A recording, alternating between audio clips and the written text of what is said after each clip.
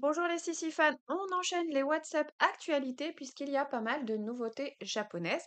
Mais je rappelle tout d'abord que le concours photo sur Sylvanian Family Passion, c'est jusqu'au 16 août, donc vous avez encore une petite semaine pour participer.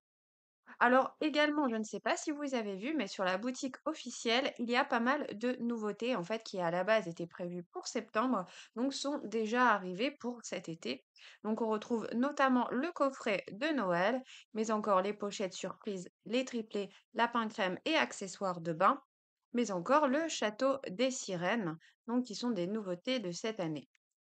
Alors, sinon, on passe donc aux nouveautés japonaises et c'est vrai qu'il y en a vraiment de très sympas, notamment une nouvelle boîte d'Halloween. Donc, je pense qu'on devrait certainement la voir en France l'année prochaine, que je trouve vraiment très jolie et très sophistiquée et différente de ce qu'ils nous proposent habituellement puisqu'il y a pas mal d'accessoires. On pourrait dire que c'est plus un goûter d'Halloween, hein, puisqu'il y a une petite table et de la nombreuse vaisselle ainsi que des gâteaux qui sont transformables puisqu'on peut les empiler de différentes manières avec des toppings et différentes petites décorations.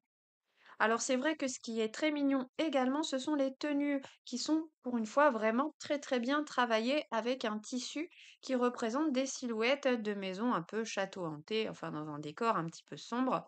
Mais je trouve vraiment que ce détail est magnifique.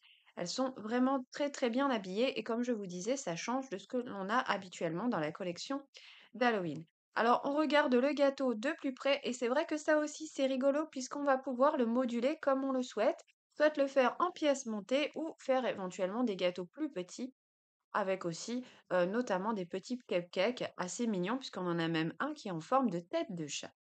Alors par contre, ce qui est un petit peu dommage, c'est que en fait, Sylvania Family réutilise beaucoup en ce moment les mêmes meubles et on retrouve en effet la table et les chaises qui se retrouvent quand même assez régulièrement dans la collection puisqu'à la base, il était sorti pour la collection Sylvania Town, donc celui qui est en haut à gauche, donc le dîner romantique qu'on décline également dans la collection Town, toujours notamment à droite en couleur blanche et violette pour l'édition collector du manoir Sylvania Town.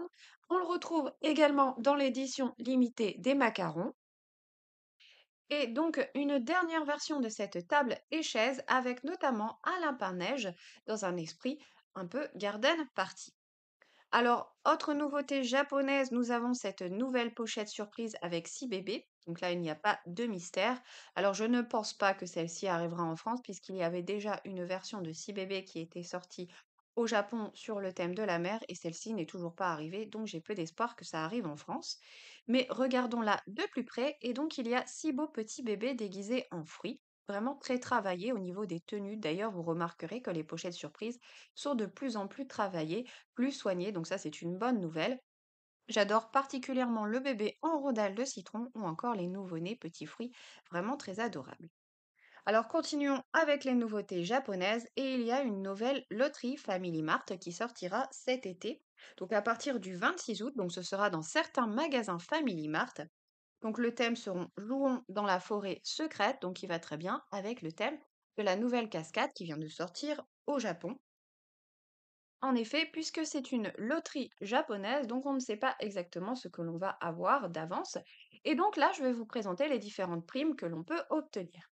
Alors, il y a tout d'abord celle-ci, donc qui est un arbre que l'on connaît déjà puisqu'il est déjà sorti, juste qu'il a été retravaillé. Donc avec trois petits bébés husky, enfin je crois que plutôt que ce sont des nouveau-nés.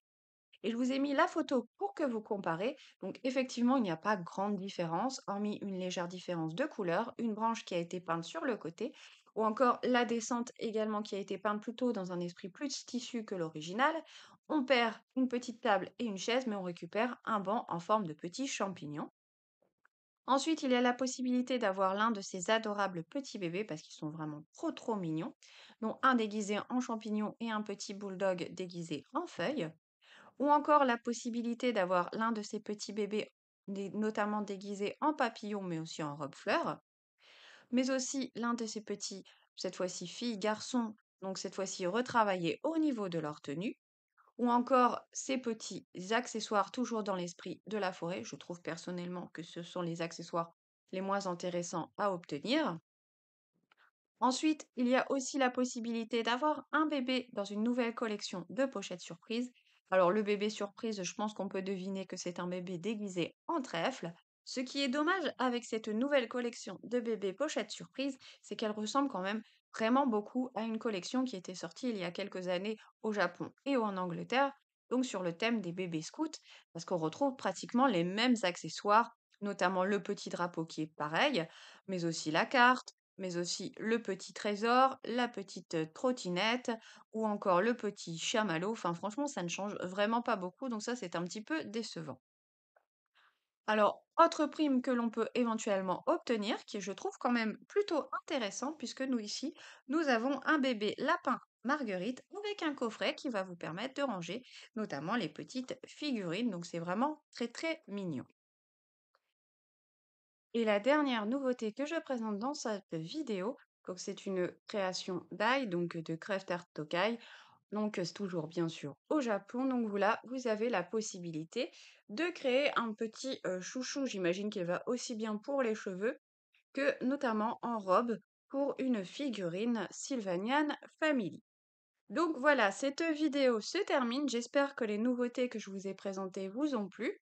Et bien sûr que j'espère qu'on en aura quand même une partie en France, mais j'ai quand même plutôt bon espoir, notamment pour le thème d'Halloween, qu'on devrait certainement l'avoir l'année prochaine. Alors, je vous remercie d'avoir regardé cette vidéo. N'oubliez pas de mettre un j'aime et ou un commentaire. Et surtout de vous abonner à ma chaîne. À très bientôt